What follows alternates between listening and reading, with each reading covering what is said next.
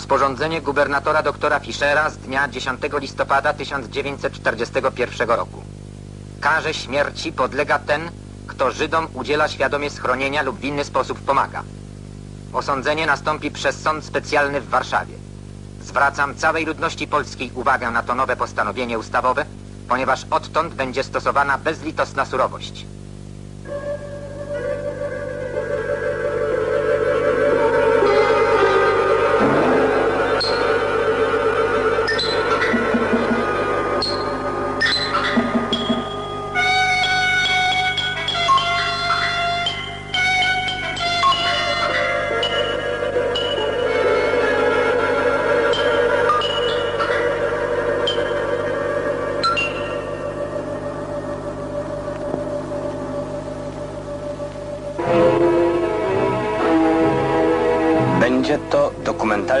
Z czasów wojny i okupacji. Będzie to oparte wyłącznie na autentycznych faktach sprawozdanie o wspólnym losie Polaków i Żydów w kraju podbitym przez wspólnego wroga. Na ziemi, która przez wieki była ich wspólną ojczyzną.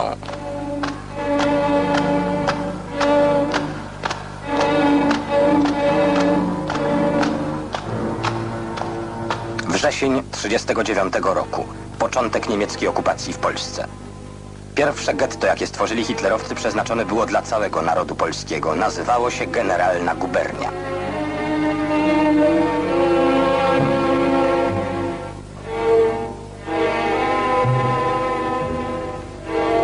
Polakom odebrano podstawowe prawa obywatelskie i ludzkie. Przekreślono tradycje narodowe, rozpoczęto prześladowanie polskiej kultury, obyczaju, języka. Oto Hans Frank, pan życia i śmierci 18 milionów Polaków w generalnej guberni.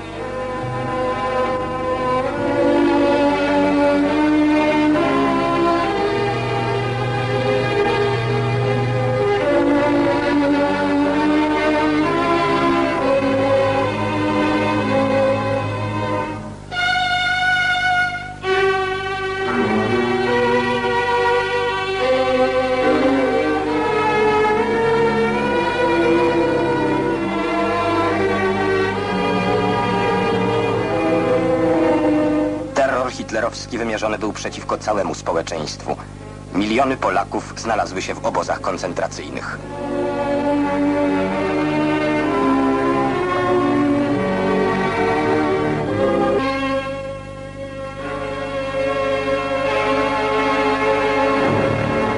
Wysiedlenia z terenów przeznaczonych dla niemieckich kolonistów.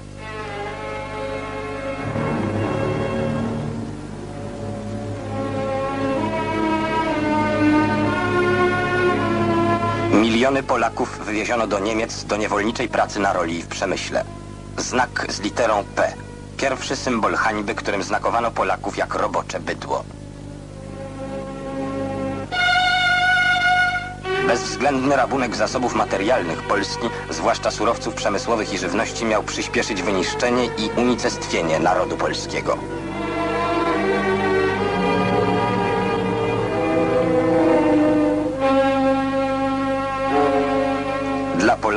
Pozostawiono tylko tyle, ile trzeba było do podtrzymania egzystencji i sił do pracy dla Niemców.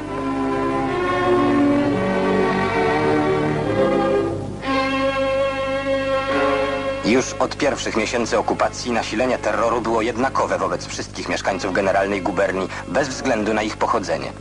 Ale większość Żydów polskich jeszcze nie rozumiała tej spójności.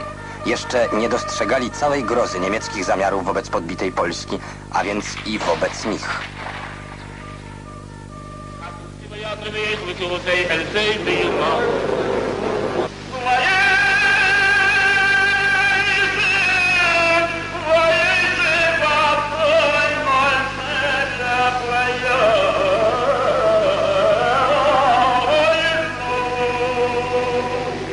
Zamknięci w swych odrębnościach religijnych i obyczajowych myśleli o sobie wciąż jako o narodzie szczególnym i wybranym. Jeśli nawet przeczuwali zagładę, to modlili się tylko do swego Boga o cud dla siebie.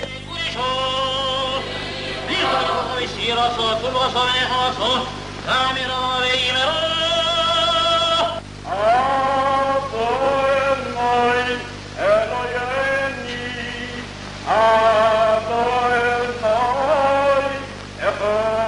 pozostawali i wtedy, gdy stało się jasne, że Niemcy gotują im ten sam los jak całemu narodowi polskiemu. A byli przecież jego częścią wcale nie małą. Przed wojną obliczano społeczność żydowską w Polsce na przeszło 3 miliony. Stali jednak na uboczu walki, podjętej także w ich obronie przez polskie organizacje podziemne już od pierwszych dni okupacji. Na terror okupanta pierwszą odpowiedzią był sabotaż przemysłowy i podziemna propaganda, podtrzymująca wiarę w zwycięstwo. Zarządzenia represyjne przeciwko ludności żydowskiej traktowano od początku jako część akcji wymierzonej w całe polskie społeczeństwo.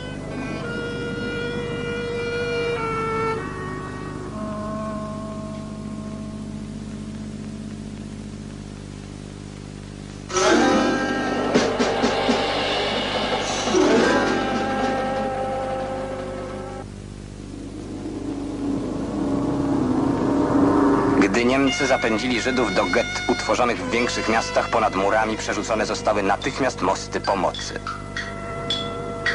jako mały dzieciak wychowywałem się razem, to się zżyłem. Zupełnie ja nie odróżniałem, co to, to jest Żyd, powiedzmy, a ja Polak. Kiedy już przyszła ta okupacja, no ja z zawodu to murarz. Kilku murarzy pracowało przy tym murze.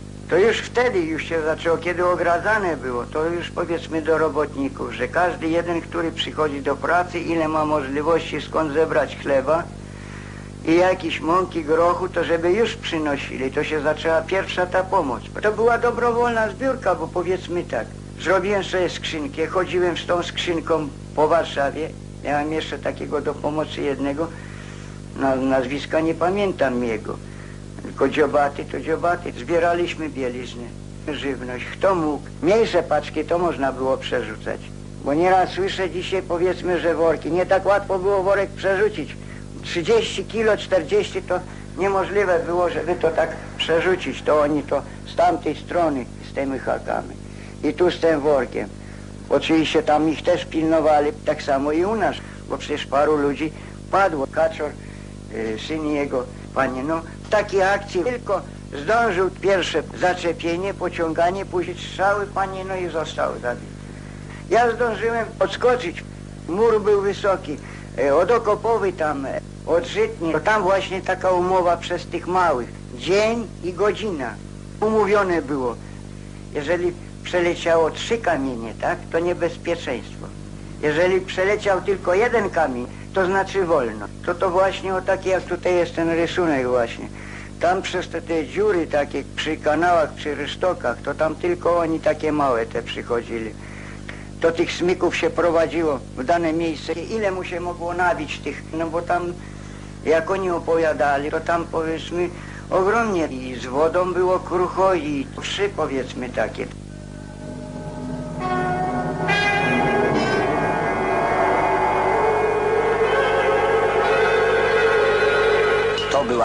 Wówczas najważniejsza. Ratować ludzi w getcie przed śmiercią głodową. Dzieci żydowskie przemykały się przez mury z żywnością otrzymaną po tamtej stronie. A przecież za wszelkie kontakty z gettem groziły i dostawcom najsurowsze represje. Mówi Tadeusz Bednarczyk, jeden z organizatorów ruchu podziemnego w Warszawie.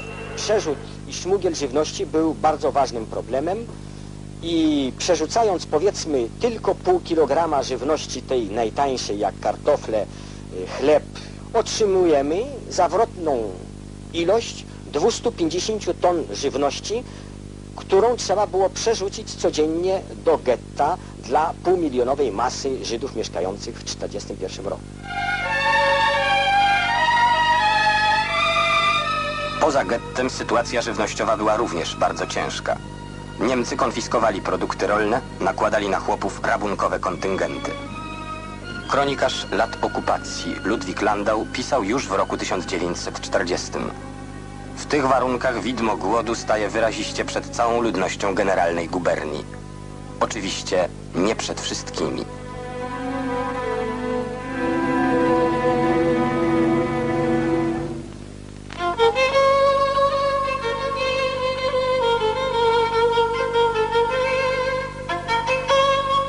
Samym getcie nastąpił drastyczny podział na kilka grup. Tysiące ludzi umierały codziennie z głodu. Tysiące wegetowały na granicy życia i śmierci. Ale nie brakowało i takich, którzy w tej tragicznej sytuacji przejawiali skrajny egoizm, brak poczucia solidarności z ginącymi współbraćmi. Aferzyści bez skrupułów, wojenni dorobkiewicze, spekulanci, współpracownicy hitlerowców. Byli tacy i po tamtej stronie muru, ale tu w getcie taka postawa była szczególnie odrażająca.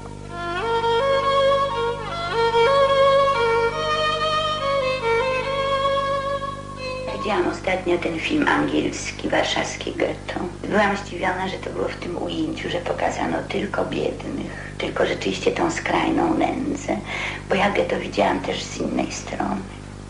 Ja widziałam luksus. Widziałam takie siostry Wendland, które chodziły w futrach, prawda? I bez opasek miały zezwolenie Niemców na to. I ludzie bogaci, na przykład taki pan Lejzerowicz i jego żona, garbarni mieli. Więc jak szli, to, to, to byli w, zupełnie wyłączeni od tego.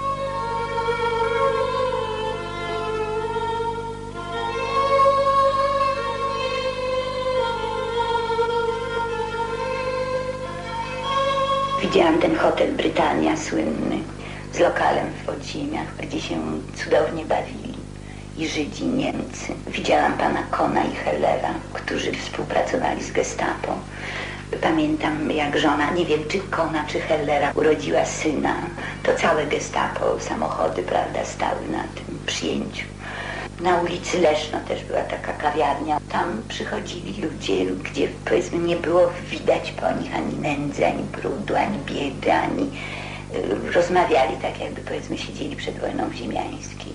Ja nie rozumiałam tego. Zdjęcia hitlerowskie, zapewne inscenizowane, ale tak przecież było w rzeczywistości. Tam były niesamowite ilości alkoholu wypijane. Tam była jakaś orgia, no mniej więcej takie stworzenie sobie warunków jak w Dolce Vita.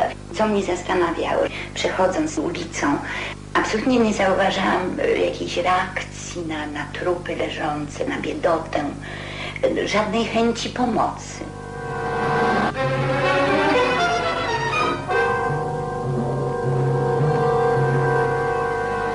Dlaczego my zajęliśmy się w czasie okupacji pomocą Żydom? Żadnych specjalnych, powiedzmy, koneksji po temu, żeśmy nie mieli. Bestialski stosunek do Żydów w każdym z uczciwych Polaków musiał wywoływać bunt. No i we mnie, który należałem do AK i niezależnie... Mówi doktor Jan Żabiński, odznaczony za ratowanie Żydów izraelskim medalem sprawiedliwego. I w związku z tym dokładałem wszelkich sił, ażeby ludziom pomóc. Mm, Ludziom tym nieszczęśliwym, tym, nad którymi się tak niesłychanie pastwili. I tutaj właśnie chciałbym podkreślić rolę w danym przypadku nie tyle moją, co mojej żony. Powstała u nas zaraz po wojnie taka nieco niemal przesadzona legenda właśnie y, o tych niezliczonych ilościach ludzi, którzy przez nasz dom przechodzili i przy, ten, ten dom, który był willą y, służbową w zoo. Bo wszyscy mówili, no tam w ich domu się nic nikomu nie stanie. Otóż u nas była przeważnie inteligencja, no więc mieliśmy bardzo słynną rzeźbiarkę Magdalenę Gross, animalistkę, wielką przyjaciółkę zoo, która miała swoje modele u nas, prawda? Ale sprawa była bardzo ryzykowna, bo oni bardzo źle mówili po polsku i wszyscy mieli niesłychanie wyraźny typ, właśnie semicki. Więc oni początkowo y, przebywali na terenie y, takim naszego dawnego pomieszczenia dla zwierząt, które miało takie klatki i korytarze podziemne. Y, U nas była taka umówiona melodia z operetki Offenbacha, Piękna Helena. No i wtedy powiedzmy te osoby, które były podejrzane, musiały uciekać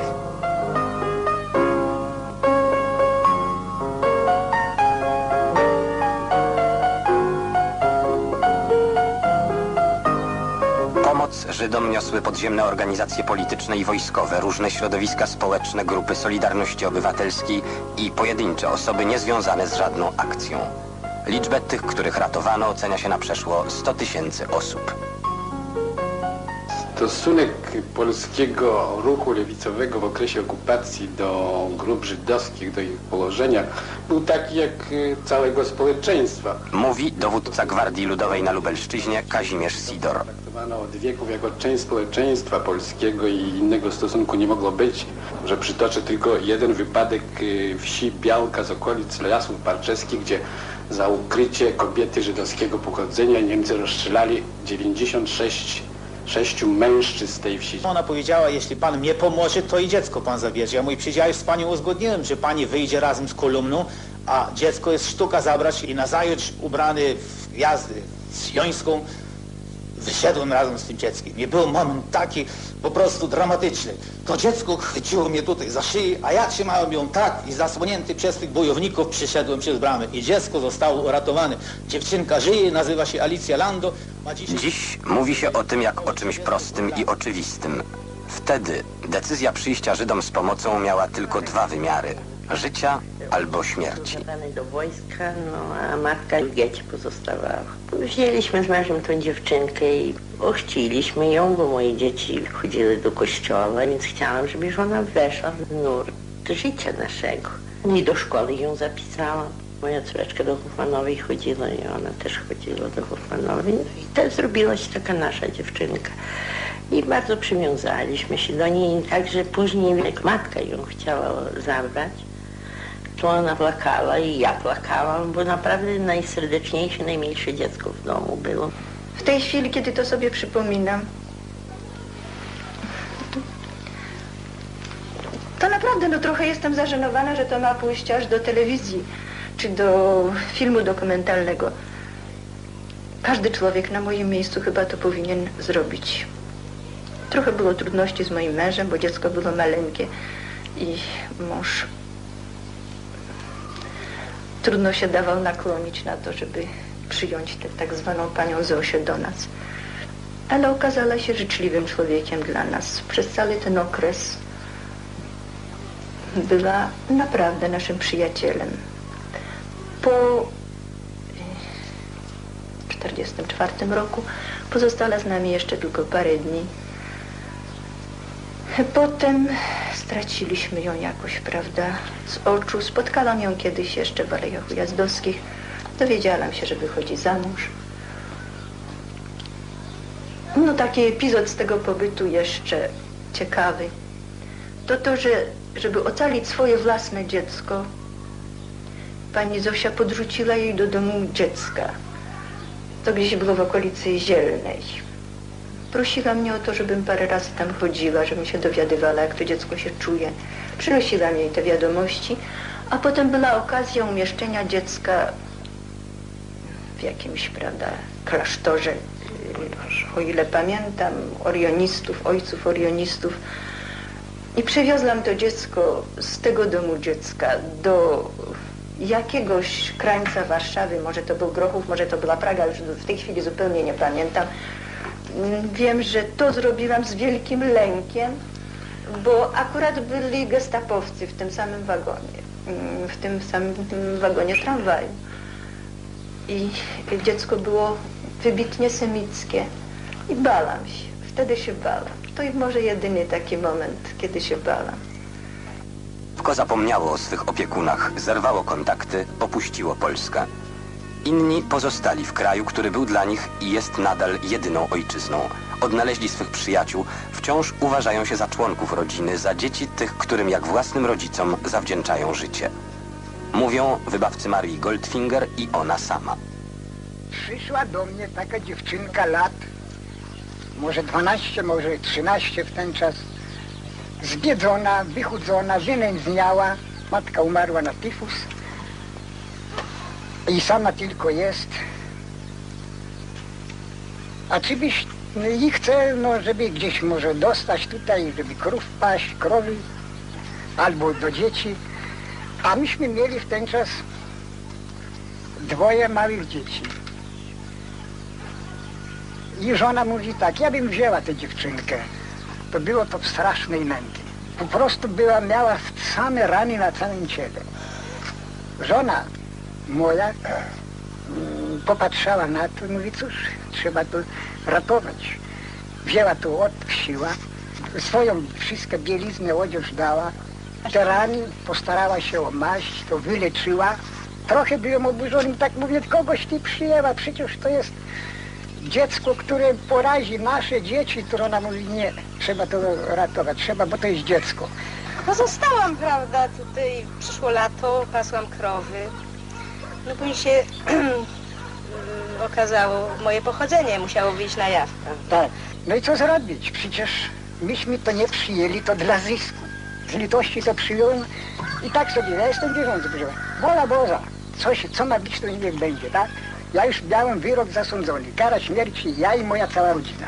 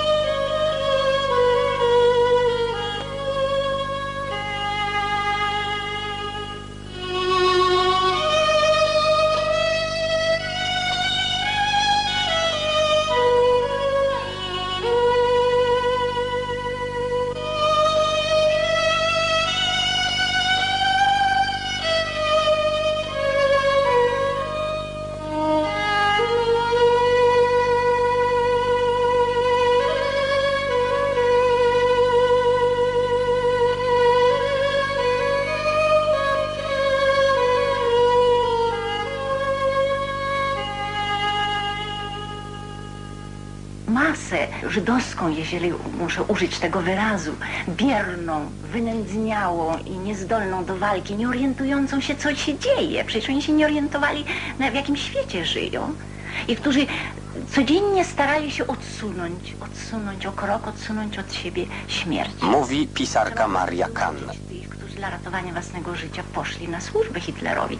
Ci nie reprezentują getta, samo jak szmalcownicy nie reprezentują narodu polskiego. Nie tylko Polska Partia Robotnicza, nie tylko Gwardia Ludowa, gdzie pomoc dla ludności, w tym pomoc dla ludności żydowskiej wynikała z natury z charakteru politycznego i ideologicznego tych formacji, ale i całe społeczeństwo zgodnie z charakterem polskim, zgod- zgodnie z naszym humanizmem, zgodnie z naszym patriotyzmem pomagało ludności żydowskiej.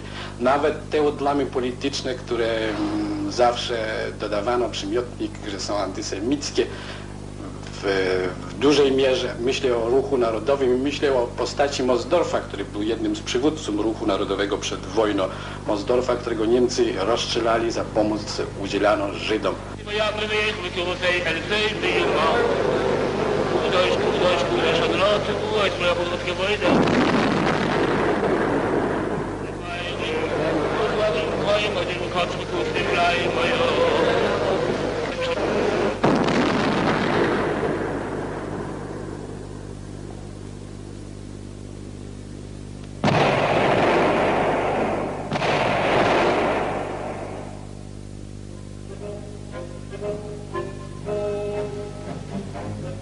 Czasach pogardy każdy, kto czuł się Polakiem, stawał do walki.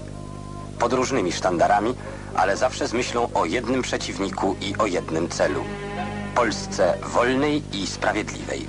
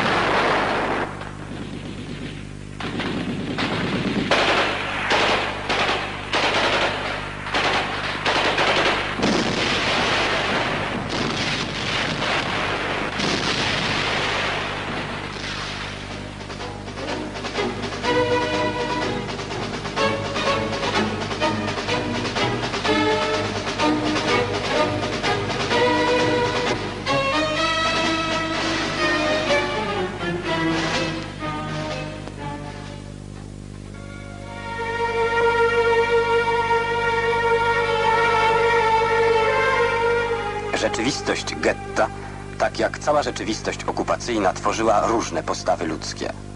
Oto, co na ten temat pisał organizator podziemia w getcie Marek Edelman. Ogół uważa, że jeżeli Żydzi spokojnie dostarczą wymaganego kontyngentu, reszta getta pozostanie na miejscu. Niemcom udało się podzielić ludność żydowską na dwie części. Jedną skazaną na śmierć, drugą mającą nadzieję utrzymania się przy życiu. I powoli z czasem potrafią Niemcy wygrać tak jedną część przeciwko drugiej, że dojdzie do tego, że Żydzi jedni drugich poprowadzą na śmierć, byle tylko uchronić swoje własne życie. Byli więc bohaterscy przywódcy, ideowi działacze. Była ogromna większość ludności getta bierna i otępiała i były szumowiny żerujące na ludzkim nieszczęściu. Z żydowskiej policji pomocniczej było ponad 3000 Żydów. Ponad tysiąc ludzi zatrudnionych było w gminie żydowskiej.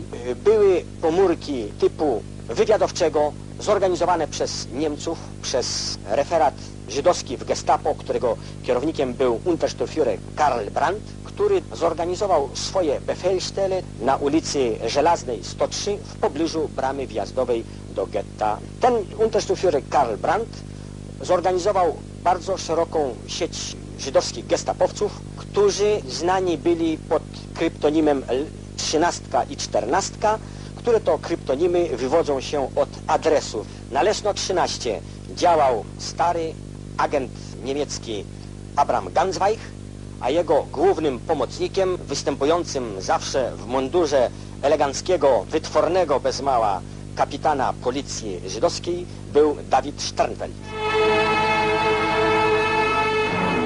Żydzi bogatsi uważali, że czym więcej biednych Niemcy wywiozą, tym łatwiej bogatszym będzie przeżyć. Szczególnie bogatsi Żydzi wstępowali do policji żydowskiej. Miałem taki fakt raz z jednym dygnitarzem, bo miał dużo... Polacy po drugiej stronie muru nie mogli zrozumieć, dlaczego w tak tragicznych warunkach znalazło się w getcie tylu zdrajców. z którym e, zacząłem dyskutować. To było na ulicy Leszno, obecnie Świerczewskiego, przy szkole Konarskiego dawno. I mówiłem, do czego wy, do, co wy robicie? Jak wy wszystkich Żydów wyprowadzicie, to później przej was wyprowadzą, a później będą i nas wyprowadzać. A mówi, ty nie bądź taki mądry, bo ty chcesz żyć i ja chcę żyć.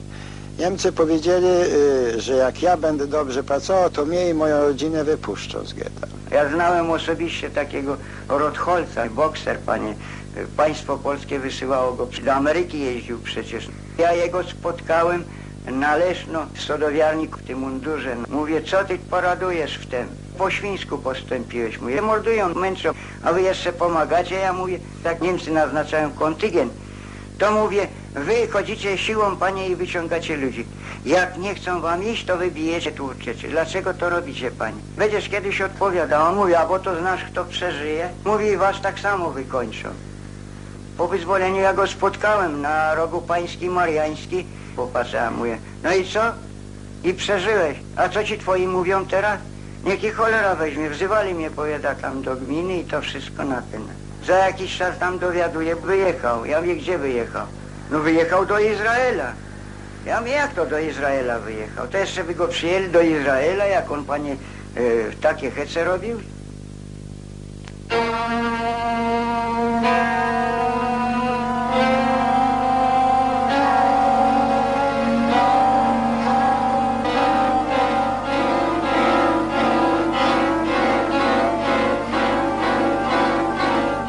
Szlakach transportów śmierci formowanych w getcie przy gorliwym udziale żydowskich policjantów, polscy kolejarze starali się nieść pomoc i otuchę. Częstokroć w wagonach podrzucane były wszelkiego rodzaju łomy umożliwiające rzucenie z kółek drzwi wagonowych, że potem istniała możliwość odchylenia drzwi i ucieczki. Drogi przewozu Żydów do Treblinki były dwie. Z Warszawy przez Wołomin tuż do Małkini i Treblinki, względnie z Warszawy przez Mińsk Mazowiecki, Siedlce do Treblinki. Oczywiście, że wielu Żydów korzystało z tej okazywanej, jakby można było określić dzisiaj wiernej pomocy, w tym, że w drodze wyskakiwali. I tym się tłumaczy, że wzdłuż torów kolejowych na tych dwóch drogach przewozu znajdowały się bardzo duże skupiska Żydów w lasach, po wioskach, ukrywali się wśród Polaków. Jedną z taką miejscowości, gdzie była większa ilość Żydów, była stacja Cegłów. 28 czerwca w Cegłowie została dokonana obława masowa. Wybierali wszystkich Żydów, wybierali ludzi, którzy tych Żydów przechowywali, z tym, że w czasie oporu, jeżeli Żydzi się bronili, to byli paleni w budynkach, a Polacy, którzy, w których domach się znajdowali Żydzi, byli rozstrzelywani. Nawet do Treblinki sięgała konspiracyjna działalność polskich kolejarzy wykorzystujących do tego celu swoje służbowe stanowiska. Wiadomość o mordowaniu Żydów, o tym, że zaistniał obóz w Treblince, to była podana natychmiast, natychmiast została podana e, przeze mnie do obwodu, a wiem na pewno, telegram był podany do Londynu, do rządu londyńskiego.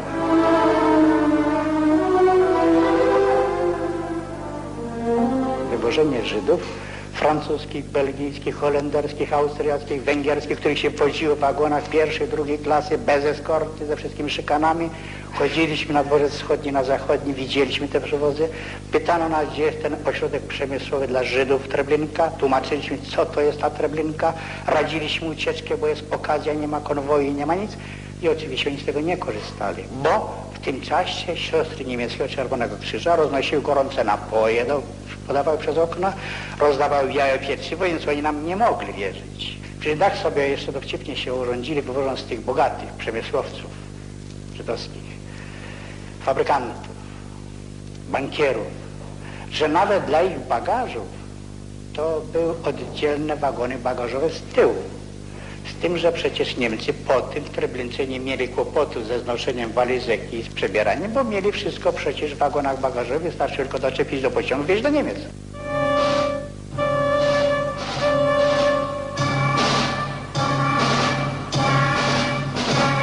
Idąc dobrowolnie do śmiertelnej pułapki, mówili tym, którzy ostrzegali ich i chcieli ratować. Niemcy to mądrzy ludzie, oni nas wszystkich nie zabiją, bo muszą mieć po wojnie świadków za sobą. Niemcy mogą być źli, ale zawsze są mądrzy i wiedzą, co robią. Z takim właśnie rozumowaniem zetknął się warszawski pracownik bankowy Wojciech Juszczyk, gdy usiłował odwieść swych podopiecznych od samobójczej decyzji. Był taki Żyd, Roman, ale jak on się nazywał, nie wiem.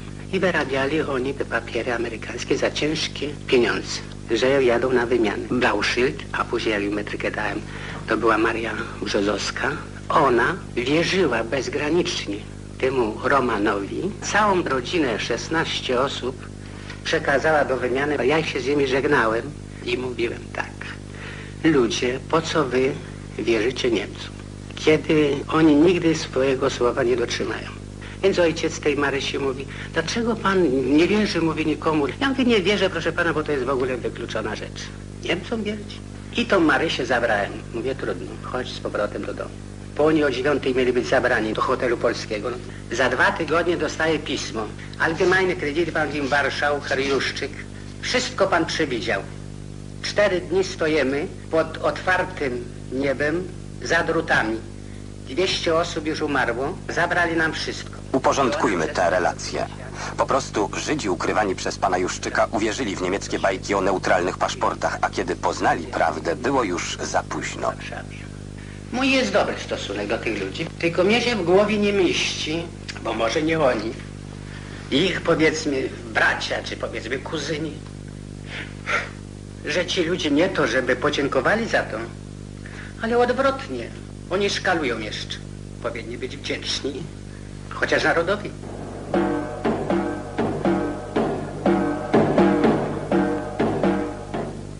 Warszawa Getto, 13 stycznia 1943 roku. Centrala STEM z prośbą o przekazanie New York Stefan Wiese Goldman Joint. Donosimy Wam o największej zbrodni wszystkich czasów, o wymordowaniu ponad 3 milionów Żydów w Polsce. W obliczu niebezpieczeństwa zagłady żyjących jeszcze 400 tysięcy Żydów żądamy od Was pierwsze zemsty na Niemcach, drugie zmuszenia hitlerowców do zaprzestania mordów, trzecie broni do walki. Bracia, resztki Żydów w Polsce żyją w przeświadczeniu, że w najstraszniejszych dniach naszej historii Wy nie udzieliliście nam pomocy. Odezwijcie się, jest to nasz ostatni do Was apel. Żydowski Komitet Narodowy w Polsce. Bo tylko świat przecież, świat, który dysponował samolotami, bronią, siłą, mógł pomóc Żydom. Tylko oni, nie my przecież, nie my, którzy sami, prawda, byliśmy skazani na śmierć. Naród polski stanął w obliczu zagłady. Nasilający się z każdym rokiem terror niemiecki obejmował całe społeczeństwo. Łapanki uliczne, rewizje, egzekucje, represje wobec całych rodzin, wsi, dzielnic miejskich miały na celu złamanie oporu i biologiczne wyniszczenie narodu polskiego. W takich właśnie warunkach Polacy ratowali Żydów.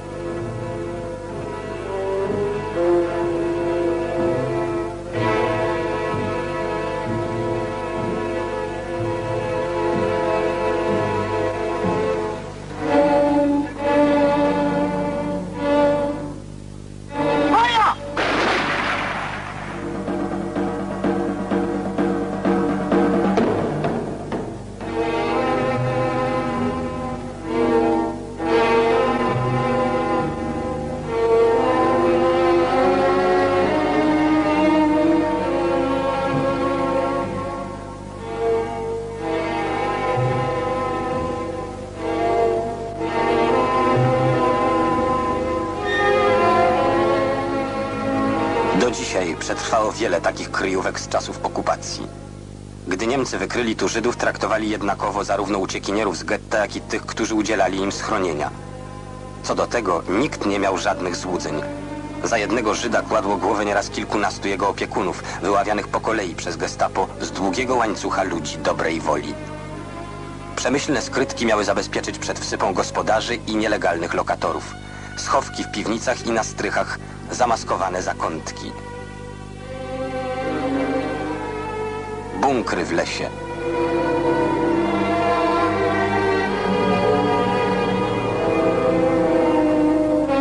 Ślepe mury. Wszystko to służyło sprawie ratowania ludzkiego życia. W miastach, w wielkich kamienicach ukrywało się czasem i po kilkadziesiąt osób jednocześnie.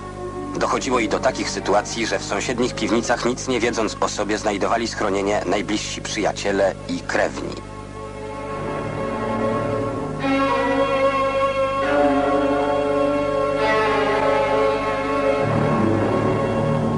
Miasteczkach trudniej było ukryć nieznajomych ludzi. Tutaj też najkrwawsze były represje okupanta. Tutaj był płotek ogrodzony tak, on był przykryty w stodole słumu, a tu był wykopany taki schron pod przycieś, to wycięta lucernia. A tu był szczyt niezabity, to wychodził se nieraz na powietrze i patrzał se. Gdyby Niemcy byli weszli do stodoły, to on by był pod przycieś tym schronem i wyszedł tą lucernią.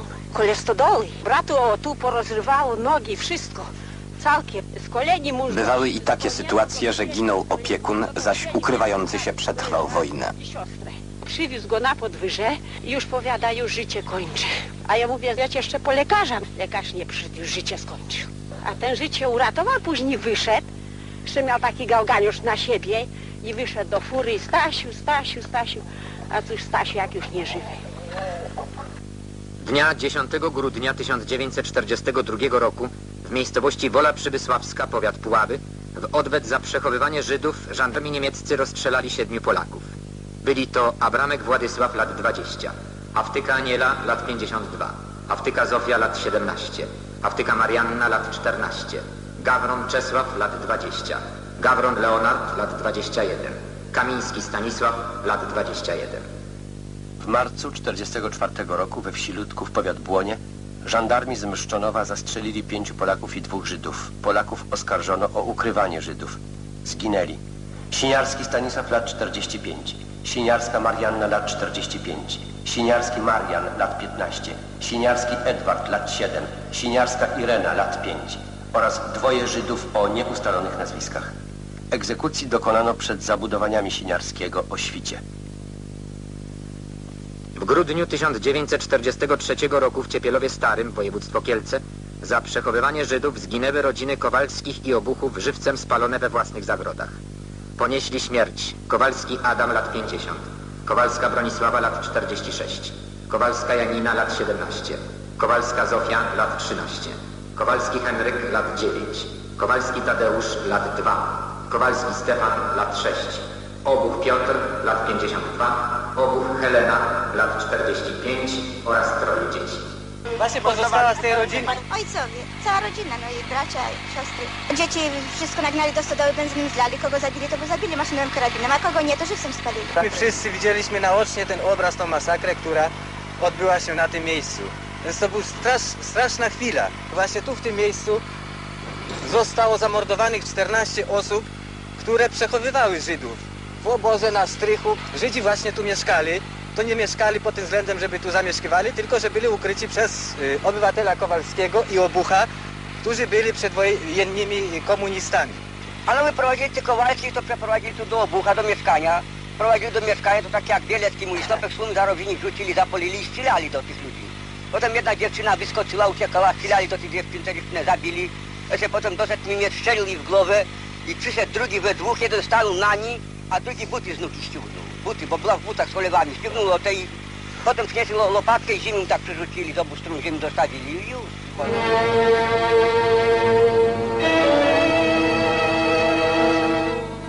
Mieszkali w tym, w tym śpichrzu. Już dłuższy czas to było, że oni tak tu u nas nabywali. A babci było szkoda, dziadek to już mówił, że może już nie trzymać, bo zginie rodzina cała. I potem zginęli wszyscy. Ten Żyd, kiedy zobaczył, no bo ja obserwowałam z mieszkania, on się mył. Zostawił tą miskę na środku podwórka i biegiem do stodoły. To ja mówię do babci, coś mówię, ten Żyd tak ucieka. W tym czasie wpadli Niemcy. On ich pewnie zobaczył i schował się podobnież pod saladerę. Jak oni tu wpadli, od razu w mieszkaniu zaczęli dziadka bardzo maltretować i Żydówkiem. Potem wypchnęli dziadka przed dom i tu zaraz go rozstrzelili. To ciocia nie chciała się położyć, to kopali ciocię, żeby się położyła. I ciocię tu potem zabili, tu jest, jeszcze znaki są nawet. Jak pani uciekała. A dwoje dzieci stało w oknie i to obserwowali. Płakali bidaki, no bo przecież widzieć takie coś to...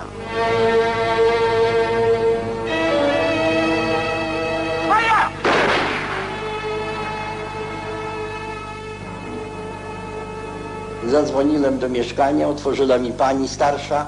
Powiedziałem, że szukają mnie Niemcy. Proszę o parę godzinny tylko aż do zmierzchu przechowanie mnie albo zezwolenie na to.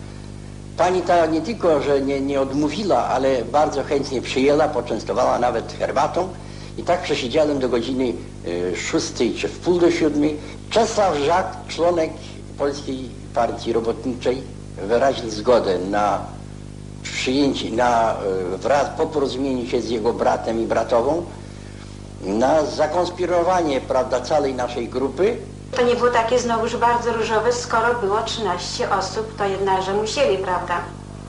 Nie wysiedzieliby w tym jednym lokalu, bo to nie była piwnica, to był pokój nieduży, wąski. Nie pamiętam dokładnie, tam chyba Zieliński wyłuszczył. I tam były porobione pryce, które się podnosiły do góry, rozkładali te swoje majdoły i tam byli. Trudno było, doprawdy tak misternie był zorganizowany, że trudno było znaleźć, prawda, e, tego zamaskowanego, zakonspirowanego pokoju, gdzie było 13 osób. Nieraz ktoś przychodził, prawda, przecież wpadali, no to wtedy oni się kryli. A jak już był spokój, to wychodzili i sobie swobodnie po mieszkaniu chodzili. W kapciach naturalnie. Łyżki drewniane mieli, żeby nie wrząkać, bo to jednak te 13 osób. Nie mogło przebywać calutki dzień, prawda, w jednym pokoju, więc wolnych od tych różnych e, wizyt, prawda, bo miał różne wizyty, to bądź, bądź stolarnia, więc y, chodzili wszyscy po pokojach, oczywiście w miękkich pantoflach. No, musiała być żelazna dyscyplina. Mów- Mówiono tylko szeptem, bo okno wychodziło na ulicę Grzybowską. No a w tym to mieliśmy jeszcze, proszę pana, kozę i króle. Po to, żeby właśnie te obierki, te ostatki z tych martwych, z tego wszystkiego tym stworzeniom dać, żeby to pokój nie wynosić tych śmieci. No to oni przecież gotowali sobie, prali, bo przecież im tego nikt nie robi. Ja tylko donosiłam to, co było potrzeba, prawda? A tak to oni A wszystko tak to sami oni robili. pomiędzy sobą już Oni zasadniczo... gos gospodarzyli się tak jak i my. Niezależnie od tego Czesław Żak jako partyjny dostarczał nam tą strawę duchową, tą podziemną prasę. To była jedyna radość dla tej grupy zamkniętej. Gdzieśmy stale czytali o niepowodzeniach, już prawda, rozpoczęły się niepowodzenia pod Stalingradem, yy, porażki Niemców i to nas utrwaliło jakieś, nastąpiło psychiczne ukojenie. My byliśmy za wszystko odpowiedzialni. Także myśmy dzielili losy z nimi razem. Bez reklamy, bez szumu. Ludzie, którzy kochają ludzi, którzy poświęcili siebie i rodziny, bo chyba byli świadomi tego, bo prawda, w razie jakiegoś e, e, wypadku czy wpadunku, jak to się mówi, to prawda, nikt z nas już światła dziennego nie ujrza. Można pomagać ludziom materialnie, ale żeby y, ludziom, prawda, dla ludzi swoje głowy nastawić, to trzeba być doprawdy wspaniałym człowiekiem. Legendarny Max Józef Sobiesiak, dziś kontradmirał, wtedy dowódca zgrupowania partyzanckiego, odwiedza rodziny swych podkomendnych, z którymi razem ratował Żydów. Te sprawy są też często tematem partyzanckich wspomnień. Mówią do Słowików, pytają się pierwszego lepszego, gdzie do Słowików, bo nie, nie wiedzieli gdzie po lasach potem, gdzie do Słowików, gdzie do Słowików i zjeżdżali się tam. I tam się No ale- zjeżdżali. A dziadek ich wyprowadzał wszystkich do lasu. Do lasu i oni siedzieli w lesie. Tamśmy ich wyciągnęli i stworzyliśmy im, e, znaczy wyznaczyliśmy rejon, jakieś miejsce w lesie. I oni sobie pobudowali obozy. Sami. No myśmy pomogli im, tam, znaczy w jaki sposób. Powiedzieli, za nich to myśmy nie robili. Powiedzieliśmy, jak mają robić ziemianki, jak mają robić szalasy, e, no w jaki sposób tam jakieś latryny, nie latryny, no bo trzeba było, to masa narodu było. W sumie zebrało się około 500 ludzi. Mówi doktor Zofia Szymańska, która przetrwała okupację pod Warszawą. Ja byłam naczelnym lekarzem opieki społecznej w getcie. Opieki nad dzieckiem. Że ja wyszłam z getta w lipcu 42 roku. Wyprowadziłam dziecko, po które przyjechali moi znajomi, państwo Lipcowie, a mnie o godzinie w pół do dziewiątej wieczorem zabrała do siebie pani Irena Solska. I następnego dnia, przemykając się uliczkami, dotarliśmy do klasztoru na Kazimierzowską, gdzie przyjęła mnie siostra Wanda Karszyńska-Przełożona. Przyjechałam do Ożarowa za pośrednictwem pani profesorowej Bogdanowiczowej i babci Ralińskiej. Ja sobie wtedy zupełnie nie zdawałam sprawy z niebezpieczeństwa. Natomiast siostry wiedziały o tym bardzo dobrze, na jakie niebezpieczeństwo się narażają. I jak się dowiedziałam po wojnie, cały Żarów wiedział o tym, że ja istnieję w tym domku, ale nikt z publiczności nie puścił pary z. Do ogrodu schodziłam wieczorami, natomiast w cały dzień pomagałam dwóm siostrom w pracy magisterskiej. Pomagałam siostrze Górskiej w pracy doktorskiej. Prułam stare ubrania, łuskałam fasole. Siostry były w stosunku do mnie niezmiernie ludzkie. Kiedy miałam ten stan depresyjny, zajmowały się mną więcej. No, kiedy była ostatnia akcja w getcie i kiedy zginęła moja druga siostra i mój szwagier, wtedy naprawdę dla mnie świat był beznadziejny.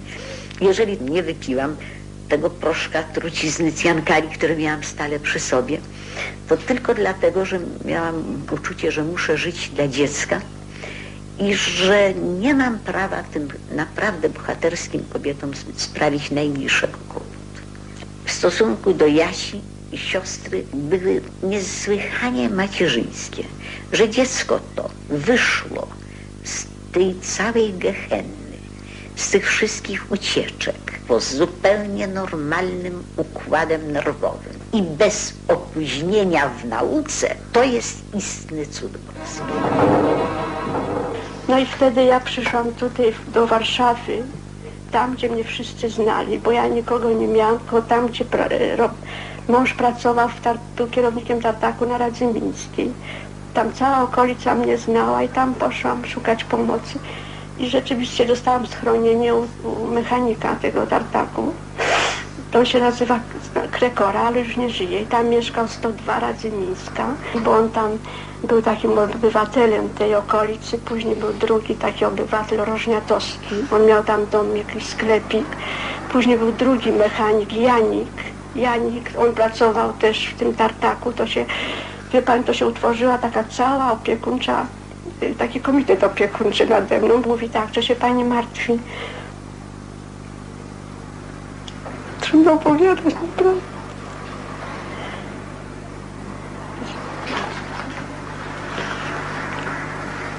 To mówi, co się pani martwi? Tu pani ma pieniądze, co potrzeba, niech pani sobie kupi.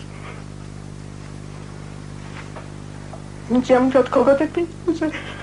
To on mówi, jak pani zużyje, to ja pani powiem.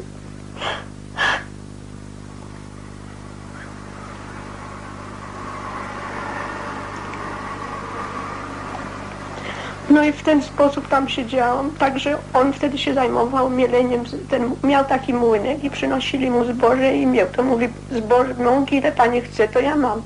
A resztę to pieniądze są i, i ja, ja pani przyniosłam, a od kogo pani nie obchodzi. Jak pani wyda, to ja pani powiem. No ja się później dowiedziałam, że to właśnie ten obywatel Rożniatowski, ten mechanik z tartaku, oni wszyscy łożyli na mnie pieniądze.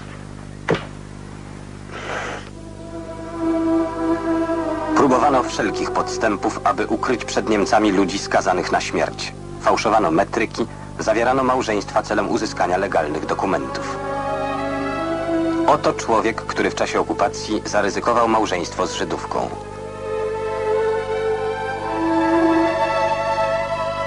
Myślał, że ją uratuje.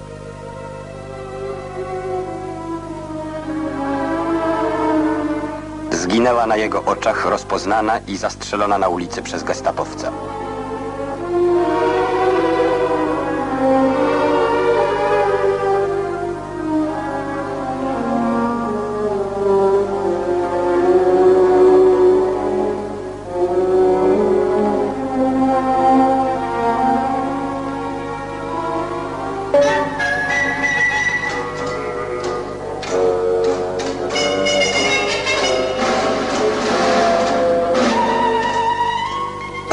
Atmosfera okupacyjna miała różne barwy, czasem pozornie komiczne.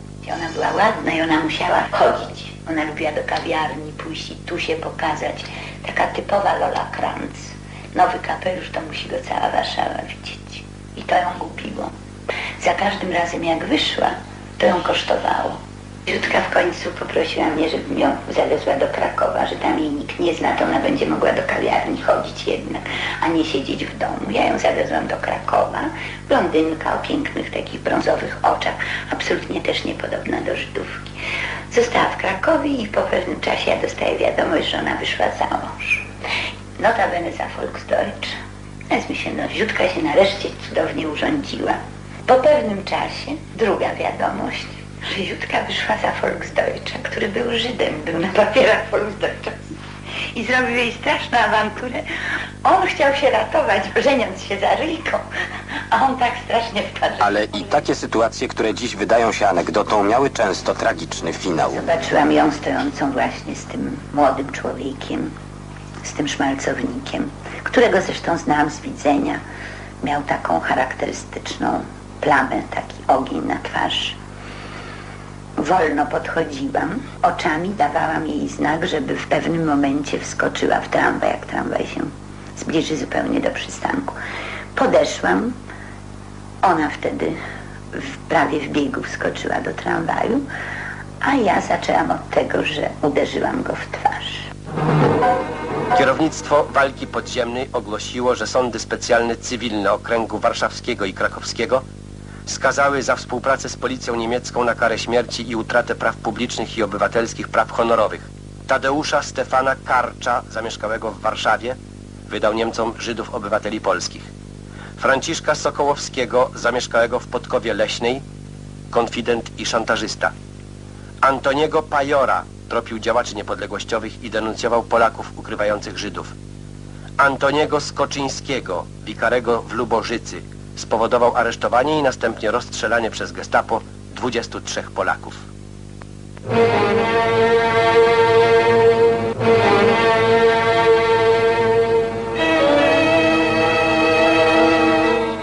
Działacze konspiracji ratowali żydowskich uciekinierów, przyjmując ich do oddziałów partyzanckich. Walka zbrojna była przecież najskuteczniejszym sposobem obrony. Byłem członkiem sztabu rejonowego e, Gwardii Ludowej. Myśmy opiekowali się, pomagaliśmy im e, w wyżywieniu i którzy wyrażali zgodę iść do oddziałów partyzanckich, tośmy ich uzbrajali i włączaliśmy do oddziałów partyzanckich. Partia Robotnicza i Gwardia Ludowa prowadziły intensywną akcję wciągania ludności żydowskiej do partyzantki. W parczeskich lasach była duża grupa ludności cywilnej żydowskiej, którą mm, Polska Partia Robotnicza i Gwardia Ludowa chroniła. Tworzyła przy niej oddziały zbrojne dla tej ochrony, dla ochrony tej ludności zbiegłej z okolicznych miasteczek, czy zbiegłej, czy odbitej z pociągów. Byli towarzysze żydowscy cenieni za swoją odwagę. Był taki wspaniały bojownik Kot, który zginął w jednej z potyczek z Niemcami. Był Hill. Chodziliśmy z założenia, że obowiązkiem każdego Polaka, w tym Polaka żydowskiego pochodzenia jest walka z Niemcami, jest walka z hitlerowcami, jest walka o Polskę, walka o przetrwanie biologiczne tak narodu polskiego jak żydowskiego.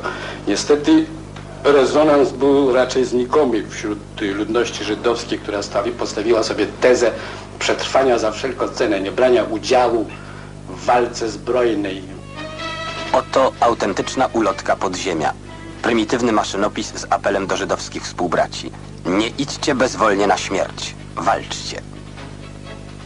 Najwyższa liczba członków Żydowskiego Związku Wojskowego wynosiła około 500 żołnierzy i osiągnęli ją oni w przeddzień wybuchu powstania 18 kwietnia 1943 roku. Zorganizowani byli w cztery kompanie strzeleckie. O dacie e, akcji niemieckiej byli uprzedzeni przez moją organizację e, na dwa tygodnie wcześniej. Byli uzbrojeni całkowicie przez Polaków. W powstanie w getcie Żydzi nie mieli więcej jak tysiąc żołnierzy. W czasie walk raporty hitlerowskie donosiły. Od wczoraj część znajdujących się w akcji oddziałów jest ciągle ostrzeliwana spoza getta, a więc ze strony aryjskiej. Oddziałom szturmowym, które natychmiast przeciwdziałały, udało się w jednym wypadku schwytać 35 polskich bandytów, komunistów, których natychmiast zlikwidowano. Trakcie trwania walk w getcie miesiącu kwietniu i maju żołnierze polskiej konspiracji kilkadziesiąt razy interweniowali na zewnątrz murów getta, atakując posterunki niemieckie. Równocześnie yy, dwukrotnie wchodziły oddziały zbrojne yy, OW do getta, walcząc tam w dniach 19 i 20 kwietnia oraz w dniu 27 kwietnia. z jakiejś piwnicy, z jakichś gruzów wyskoczył mały chłopak żydowski, który rzucił pod dosłownie na kilka kroków zbliżający się czołg niemiecki, czyli wóz pancerny, rzucił granat. Granat ten wybuchł, zerwał gąsienicę wozu. Myśmy wykorzystali to i wtedy, kiedy zaczął plonąć wóz niemiecki obrzucony butelkami, natarliśmy na Niemców. W tym momencie Władysław Zajdler-Żarski, jeden z tych, którzy weszli do getta, by walczyć wspólnie z żydowskimi bojownikami. Część oddziału żydowskiego tylnymi przejściami dostała się na zaplecze Niemców. I gdy myśmy z przodu atakowali niemiecką kolumnę, z tyłu odezwały się strzały właśnie tej grupy żydowskiej. Pamiętasz jeszcze wtedy, Mówią trzej byli żołnierze AK, uczestnicy walk pod murami getta. wyglądać ta cała akcja, y, współdziałanie tych grup. Więc y, zadanie, jakie było przed nami postawione, polegało na tym, że mieliśmy wysadzić tak z jednej strony mur getta, jak i z drugiej. Mieliśmy wkroczyć do getta, żeby zlikwidować y, oddziały niemieckie i wypuścić ludność żydowską w kierunku lasów Campinosu. Wyszliśmy z tą miną, stanęliśmy koło Józefa. Wtedy otworzył się ogień. Nie, nie wiem, czyś ty zwrócił uwagę, że były w murze y, getta zrobione strzelnice w kierunku strony aryjskiej i tam ukazały się lufy karabinów. Padły strzały. I w tym momencie został... o tym przekonali I wtedy został zabity pierwszy murek morawski. Żydzi wcale nie byli przy murze, oni byli Nie, odepchnięci. nie, nie, nie. Oni byli odepchnięci. Oni byli odepchnięci. I wtedy przytomność Józefa, bo wtedy byśmy, sporo innych by jeszcze kolegów zginęło, gdyby Józef jeszcze, jak dzisiaj pamiętam, takim kolistym ruchem rzucił granat, jeden, ja za nim, poza mur, ja za nim rzuciłem drugi granat. I wtedy ucichł ten ogień z broni, y, y, z karabinów. Huk strzałów taki i ten łomot tych karabinów maszynowych w getcie zagłuszał wszystko, także ja w ogóle nawet się nie zorientowałem i poprzez tłum ludzi nie widziałem, co się tam stało. Dopiero jeden z moich ludzi krzyknął, że właściwie już się zaczęła akcja.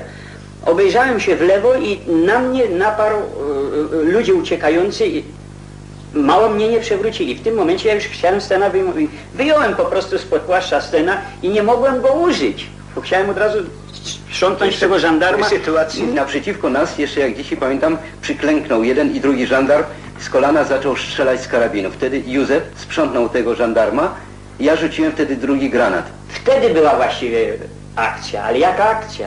Akcja związania się z, z Niemcami, walki już bezpośrednio, bo już leżeli ci nasi dwaj minerzy zabici, ta mina nieszczęsna leżała na środku jezdni, niedoniesiona, a myśmy się bili zaciekle, żeby w ogóle się uratować, żeby tam, tam wyjść z życiem stamtąd. No.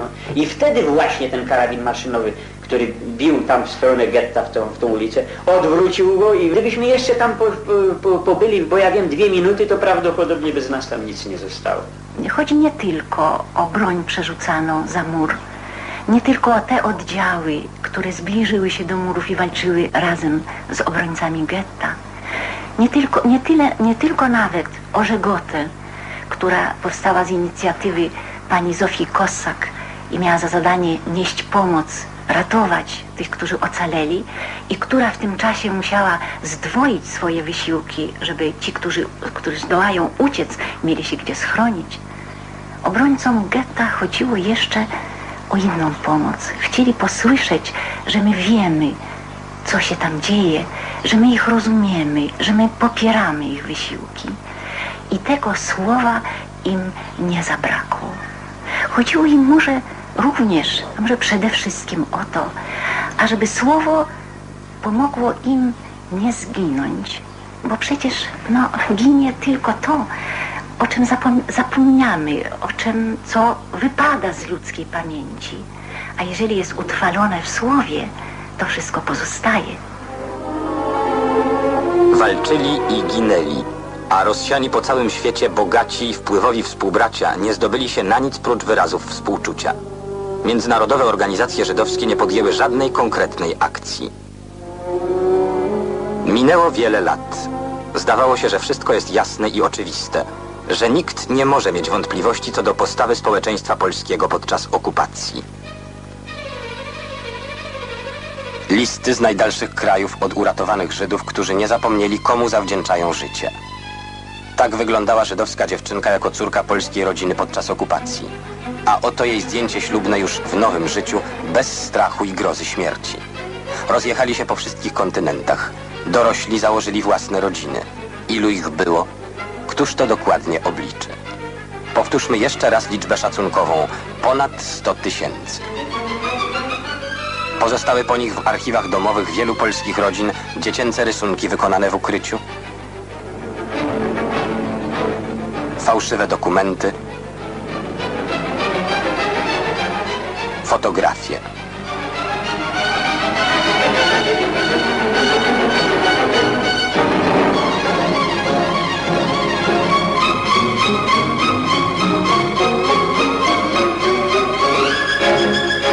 My pamiętamy, a oni, czy wszyscy pamiętają?